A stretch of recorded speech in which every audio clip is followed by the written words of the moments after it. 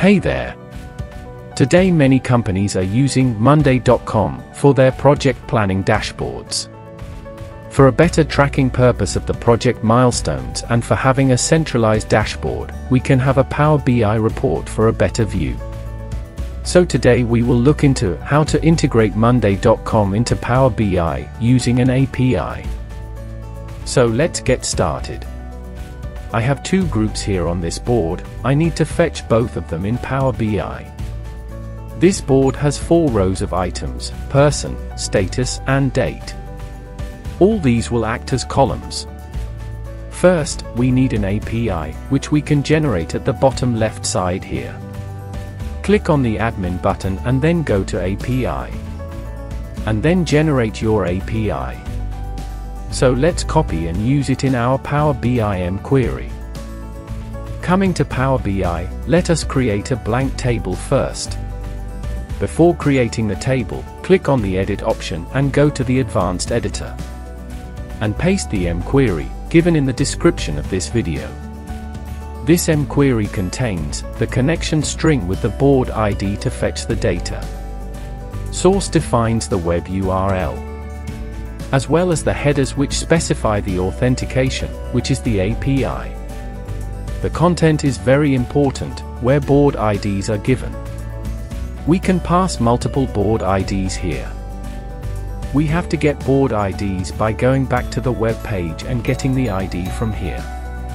The other lines of the code are simple transformations like expanding the columns and changing the data types. So there we go, we can see all the columns with data from the board. Let us rename the first column to name.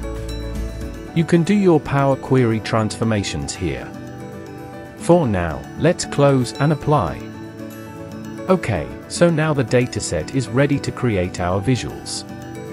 Let me create a simple report.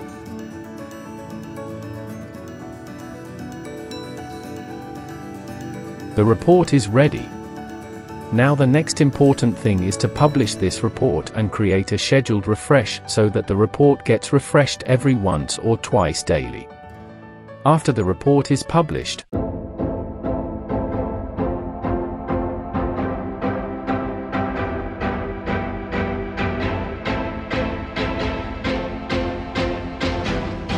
we can go to our dataset and click on Settings. Here we can see that the credentials have failed to authenticate. With this issue, the dataset will never refresh. So we need to fix this issue, this is common for any type of API authenticated dataset. Click on Edit Credentials, and select the Anonymous Authentication method.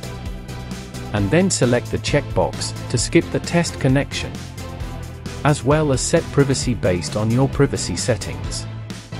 This will never test the connection and we will not face these authentication issues. Let's sign in and there we go, the error is gone.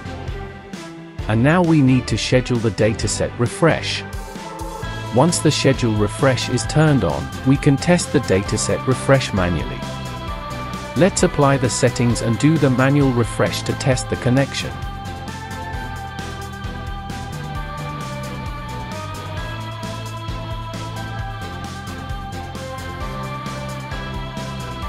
And we can see that the refresh has been completed successfully. Hope you liked this video, if you have, please click on the like button and subscribe to the channel for more interesting videos. Thanks for watching.